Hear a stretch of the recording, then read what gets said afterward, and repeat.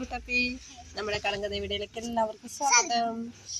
എപ്പോ ഉള്ള പോലെ തന്നെ എത്ര കടങ്കഥ ഇന്നും ചോദിക്കാൻ പോന്നെ? രണ്ട് കടങ്കഥയാണ് അതിൽ ആദ്യത്തെ കടങ്കഥ സിമ്പിളാണ് കുറ്റിക്കാട്ടിൽ സിംഹക്കുട്ടി. ക്ലൂ തരാം ഇതാ നിന്റെ തലയിൽ കൂടി ഇപ്പം കുറേ സിംഹക്കുട്ടി നടന്നു പോകുന്നുണ്ട്. യെസ് കറക്റ്റ് ആൻസർ കുറ്റിക്കാട്ടിൽ സിംഹക്കുട്ടി എന്നാണ് അടുത്ത കടങ്കഥയിലേക്ക് പോവാം. വാ നമുക്ക് അടുത്ത കടങ്കഥ കടങ്കഥയിലേക്ക് പോവാം. ശ്രദ്ധിച്ചെടുത്താൽ നിനക്ക് മനസ്സിലാവും. ചോദിക്കട്ടെ?